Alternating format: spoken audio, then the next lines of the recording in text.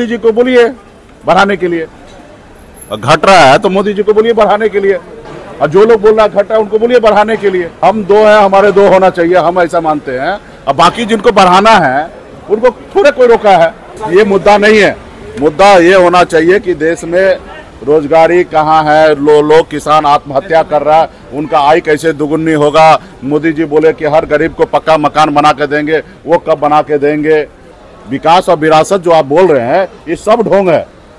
ढोंग ढोंग करना बंद कीजिए और जनता के बीच में आइए। तो भारत सरकार को निर्णय लेना। और हम तो कह रहे हैं ना कि मोदी जी, उनके मंत्री, सब मिलकर बढ़ाए।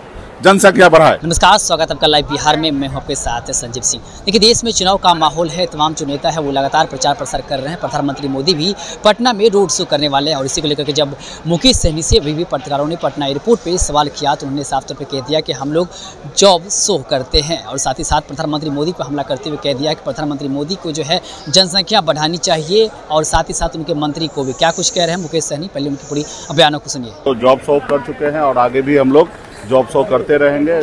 बिहार के युवा को कैसे ज़्यादा से ज़्यादा रोज़गार मिले, कैसे उनको नौकरी मिले, बिहार के युवा दूसरे प्रदेश में ना जाए, उस पर ज़्यादा फोकस हम लोग करेंगे, उस पर हम लोग ज़्यादा चिंतित है कि हमारा बिहार के बिहारी युवा, बिहार में रोज़गार मिले, उस पर हम लोग काम करेंगे।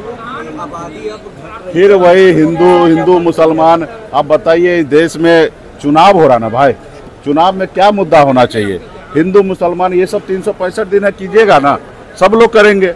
हम भी करेंगे। लेकिन चुनाव के टाइम में चुनावी मुद्दा होना चाहिए ना कि जो सरकार ने जो वादा किया वो हुआ कि नहीं हुआ। अब हिंदू मुसलमान कौन क्या खाएँगे नहीं खाएँगे सनातन ये सब चीज़ पे क्यों डिस्कशन लेना? और 10 साल से मोदी जी हैं तो इसको जो भी करना है उसको करना चाहिए ना। उनको अब पॉपुलेशन कंट्रोल की बात कर रहा है कि पॉपुलेशन ज़्यादा हो रहा है कि कम हो रहा है? क्या बोले? हिंदुओं की घट रही है और मुस्लिमों की संख्या बढ़ रही है। तो मोदी जी को बोलिए बढ़ाने के लिए। घट रहा है तो मोदी जी को बोलिए बढ़ाने के लिए।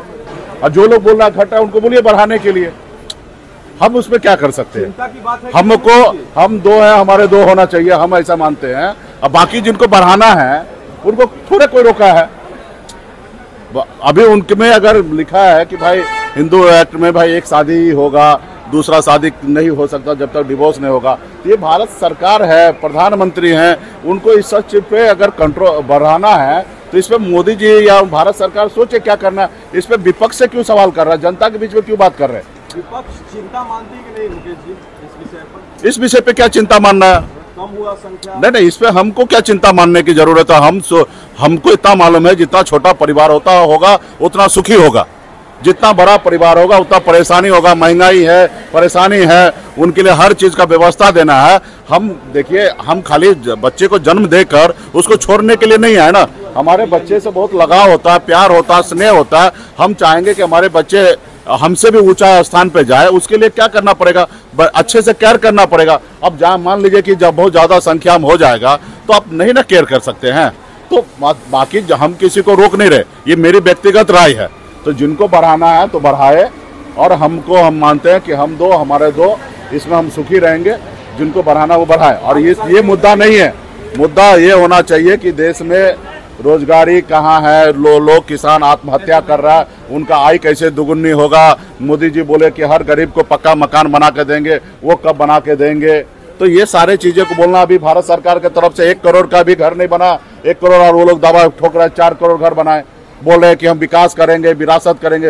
अरे ये सब कुछ नहीं है सिर्फ़ ढोंग है। विकास और विरासत जो आप बोल रहे हैं ये सब ढोंग है। ढोंग ढोंग करना बंद कीजिए। और जनता के बीच में आइए मैं देश के पढ़े लिखे नागरिक से हर जाति धर्म से हाथ जोड़ के आग्रह करता हूँ कि आपके पास सोचने समझने का विवेक बुद्धि है। ये देश आपका है ये देश आपका रहेगा या आप मालिक हैं आपके पास वोट गिराने का अधिकार है। आप सही से सोच समझकर वोट गिराइए वन साइड नहीं कीजिए। अल्पसंख्यकों की संख्या बढ़ रही है अरे भाई इस पे इस पे एक जनता या मुकेश सहनी क्या करेगा? भारत सरकार है ना? उस पर मंथन करे, उनको जो सही लगे वो करे, और उसके पर अगर समर्थन की बात आएगा तो फिर हम लोग से बात करेंगे। फिर हमारा क्या रिएक्शन होगा, उस समय बात करेंगे। अभी तो भारत सरकार को निर्णय लेना, और हम तो कह रहे हैं ना कि मोदी जी, उनके मंत्री सब मिलकर बढ़ाए, जनसंख्या बढ़ाए। ठीक है।